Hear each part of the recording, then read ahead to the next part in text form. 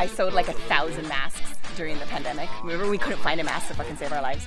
So I was sewing them and I was mailing them uh, to the at the post office every day. So I'd walk from the lava tube down to the post office, and I would pass this junkyard every day.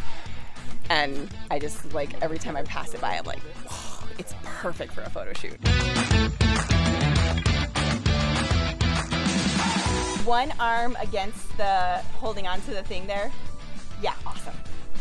Yes. Oh, fuck.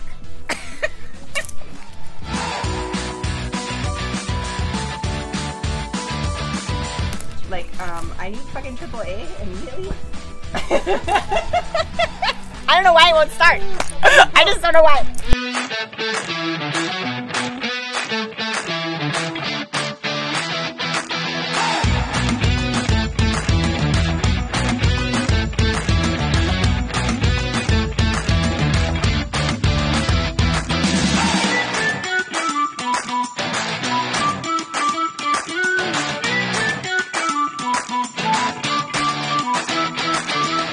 Check and see if any of these photos are recording on here. I don't know how to work the thing though. Oh, it's so good.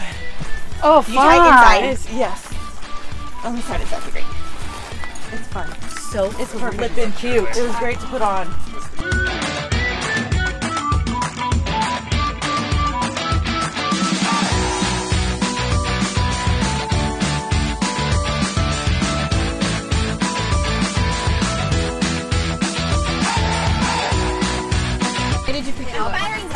Me? Yeah. Why did you oh. pick this outfit? I picked it because it, it has long sleeve and long dress, and I think the colors look good.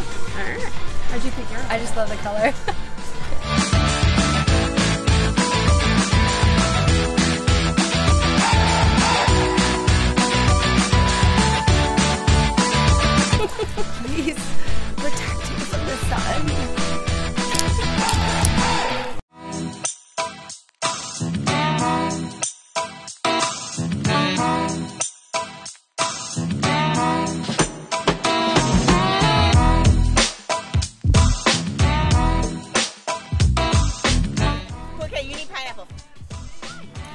sugar.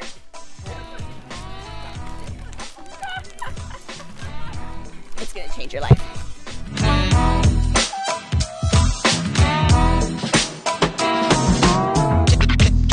This kimono is amazing. She's like, I could see myself wearing it Yes or no? all day in my home. It's also different right now, but actually just seeing this one going, um, I did like the one with Lady and Jenna over on the side. The contrast was beautiful. Yes, guys.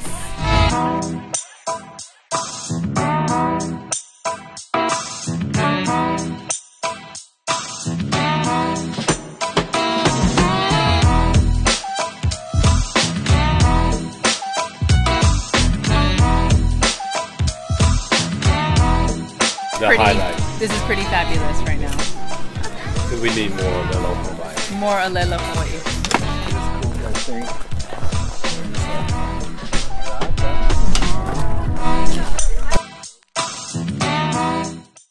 Endless inspiration, Chucky. Endless.